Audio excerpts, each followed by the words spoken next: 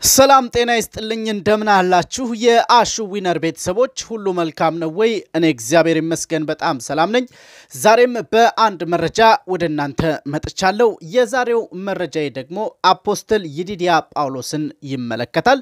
Apostle ይዲዲያ ጳውሎስ ይቅርታ ጠየቀ። ለምን ጠየቀ? ማንን ጠየቀ? እንዴትስ ባለ መልኩ ይቅርታውን ጠየቀ? የሚለውን ይዤ መጥቻለሁ። አብራችሁኝ ሁኑ።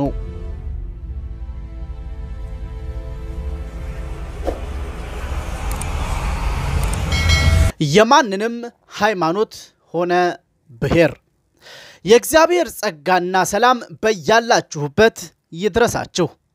ዛሬ በፊታችሁ የቀረብኩት በውስጤ የሚመላለሰውን አንድ ምክር ልለግሳችሁ ነው። ምክሩ እናንተን ብቻ ሳይሆን እኔንም ጭምር ይመለከታል።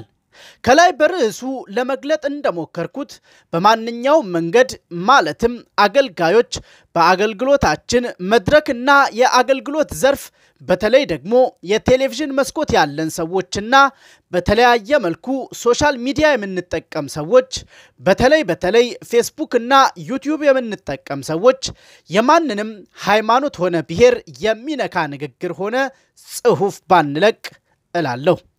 ምክንያቱም አንድ ግለሰብ ለመንካት ብለን በሚሊዮን የሚቆጠር ተከታይ ያለውን ሃይማኖት ሆነ ብሔር እንዳንነካ ብዬ እፈራለሁ።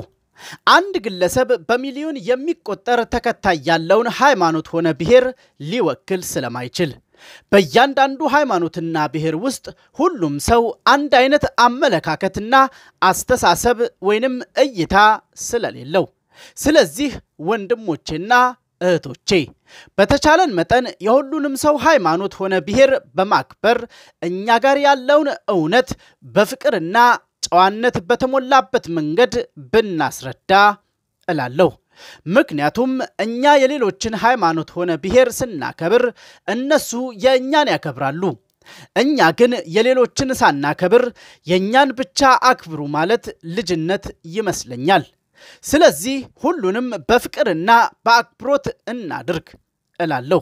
ምናልባት በማወቅም ሆነ ባለማወቅ ተሳስቼ የሌሎችን ሃይማኖት ሆነ ብሔር ተናግሬ ከሆነ ይቅርታ ማለት እፈልጋለሁ። ሁላችሁም አገልጋዮች ሆነ በተለያየ መንገድ social media በመጠቀም የተለያየ ሃይማኖት ሆነ ብሔር የሰደባችሁ፣ ያንቋሸሻችሁ፣ የራሳችሁ ብቻ ትክክል እንደሆነ የሚሰማችሁ ሰዎች ትክክል ስላይደላችሁ ልክ እንደኔ ይቅርታ መጠየቅ አለባችሁ። ሁላችሁንም እወዳችኋለሁ።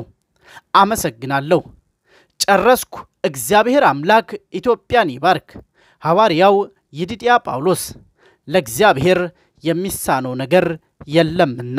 ከሰማንያ ሁለት ሺህ ሰዎች በላይ የሚከተሉት የሐዋርያው ይዲድያ ጳውሎስ የፌስቡክ ገጽ ያስነበበውን ነበር ወደ እናንተ ይዤላችሁ የቀረብኩት። እንግዲህ ሰዎች በተለያዩ የዘር በሽታ በሚታመሙበት በዚህ ወቅት እንደዚህ አይነቱን ምክር ማሰማቱ ተገቢ ነው።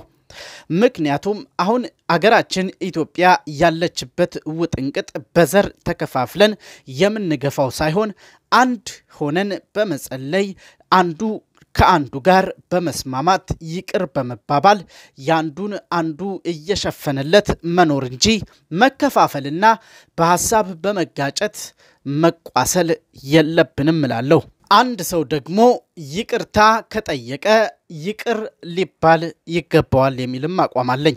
ምክንያቱም ከዚህ በፊት ያጠፋውን ጥፋት እንደማይደግመው ካመንና በሕዝብ ፊት ወጥቶ ይቅርታ አድርጉልኝ ይህንን አላጠፋም ካለ ለዛ ሰው ይቅርታ ከማድረግ ውጪ ምንም አማራጭ የለንም። ምክንያቱም እግዚአብሔር የዛን ሰው ኃጢአት ስለረሳው ሐዋርያው ይዲድያ ጳውሎስ እንዳደረገው ሁላችንም ልናደርግ ይገባል። ሳናውቅም እያወቅንም ያሳዘናቸው ሰዎች ካሉ ይቅርታ ልንጠይቃቸው ይገባል። በቤተ ክርስቲያን፣ በስራ ቦታ፣ በተለያዩ አጋጣሚዎች ከብዙ ሰዎች ጋር ልንቀያየም፣ ልንጋጭ፣ በሀሳብ ልንለያይ እንችላለን። በሀሳብ መለያየት ምንም ማለት እንዳልሆነ ሁሉ ነገር ግን በውስጣችን ቂም ከያዝን፣ ጥላቻ ካለብን፣ አንዱን ከአንዱ የሚያጋጭና የሚያጣላ ንግግር ከተናገርንም ይቅርታ ልንል ይገባል። ከዚህ ጽሑፍ ብዙ ልንማር ይገባናል። መጽሐፍ ቅዱሳችን በአንደኛ ቆሮንጦስ ምዕራፍ 13 ላይ እንዲህ ይላል በሰዎችና በመላእክት ልሳን ብናገር ፍቅር ግን ከሌለኝ እንደሚጮህ ናስ ወይንም እንደሚንሸዋሸዋ ጸናጽል ሆኛለሁ። ትንቢትም ቢኖረኝ ምስጢርንም ሁሉና እውቀትን ሁሉ ባውቅ ተራሮችንም እስካፈልስ ድረስ እምነት ሁሉ ቢኖረኝ ፍቅር ግን ከሌለኝ ከንቱ ነኝ። ድሆችንም ልመግብ ያለኝን ሁሉ ባካፍል ሥጋዬንም ለእሳት መቃጠል አሳልፌ ብሰጥ ፍቅር ግን ከሌለኝ ምንም አይጠቅመኝም። ፍቅር ይታገሳል፣ ቸርነትንም ያደርጋል። ፍቅር አይቀናም፣ ፍቅር አይመካም፣ አይታበይም፣ የማይገባውን አያደርግም፣ የራስንም አይፈልግም፣ አይበሳጭም፣ በደልን አይቆጥርም። ከእውቀት ጋር ደስ ይለዋል እንጂ ስለ አመፃ ደስ አይለውም። ሁሉን ይታገሳል፣ ሁሉን ያምናል፣ ሁሉን ተስፋ ያደርጋል፣ በሁሉ ይጸናል። ፍቅር ለዘወትር አይወድቅም። ትንቢት ቢሆን ግን ይሻራል፣ ልሳኖች ቢሆኑ ይቀራሉ፣ እውቀትም ቢሆን ይሻራል። ከእውቀት ከፍለን እናውቃለን፣ ከትንቢትም ከፍለን እንናገራለንና ፍጹም የሆነ ሲመጣ ግን ተከፍሎ የነበረው ይሻራል። ልጅ ሳለው እንደ ልጅ እናገር ነበር፣ እንደ ልጅም አስብ ነበር፣ እንደ ልጅም እቆጠር ነበር። ጎልማሳ ሁኜ ግን የልጅነት ጠባይ ሽር ያለው እርስ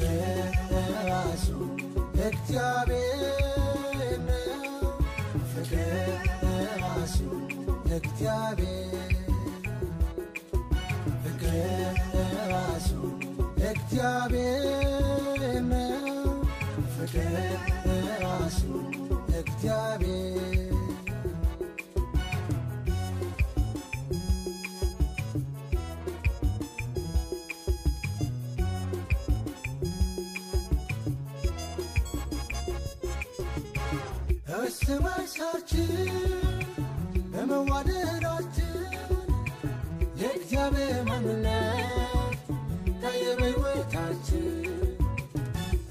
በርሳችን በመዋደዳችን የእግዚአብሔር ማንነት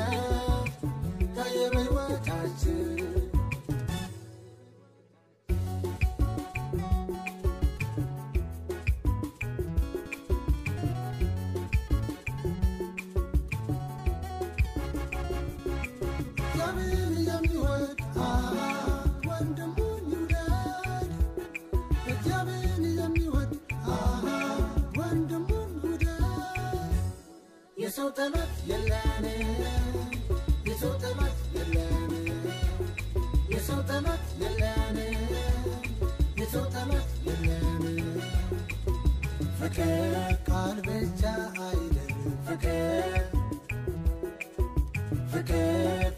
ፊደል አይደለም ፍቅር ፍቅር ራሱ እግዚአብሔር ነው። ፍቅር ራሱ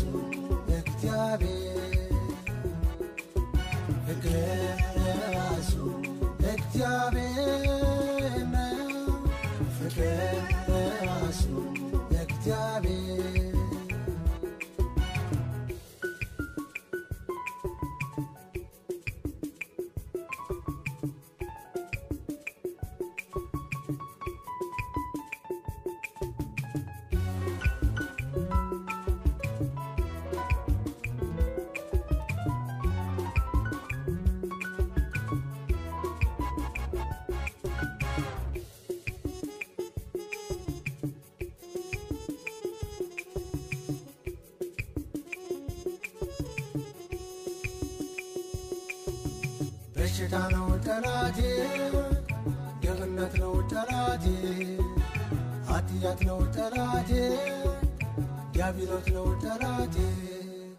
በሽታ ነው ጠላቴ፣ ድህነት ነው ጠላቴ፣ ኃጢአት ነው ጠላቴ፣ ዲያብሎት ነው ጠላቴ። የሰው ጠላት የለን፣ የሰው ጠላት የለን የሰው ጠላት የለን፣